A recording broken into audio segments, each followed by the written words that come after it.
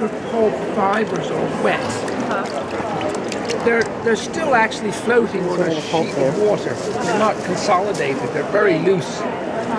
So I can take another sheet, another piece of fresh pulp, and put it on top, and they will join. I'll make a join. Amazing.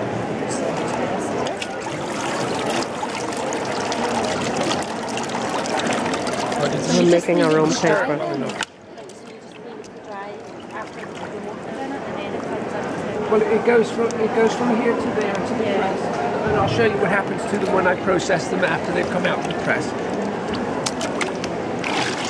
So you just got a bit of string then, and you can put it in there, and then put water on it, and then it No, I grind the string up. You grind it. Ah, that's well- how you get those so this- like threads in there. here's, um, Oh, right. This is ground up hessian Mhm. and some ground up carpet underlay. Wow. Yeah. Underlay, When, when underlay. it goes in, when it goes in there, of course, Uh-huh. it all just comes apart again. That's why they're all loose. So this, So this like little called, fibers. This is called embedding, where I'm actually going to put something inside, and you use paper with something embedded in it all the time.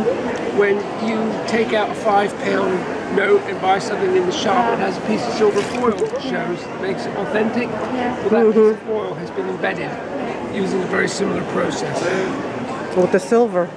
Isn't it the silver Yeah. that's embedded in the pound notes? right. There we go.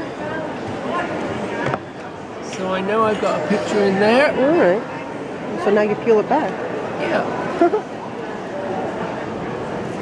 And you can see there's a photograph of uh, Geoff Hoon on in the corner there. That's how he was done. Of who? Geoff Hoon, some silly politician. who always- he They're all silly politicians, aren't Oh, are they? See you later, folks.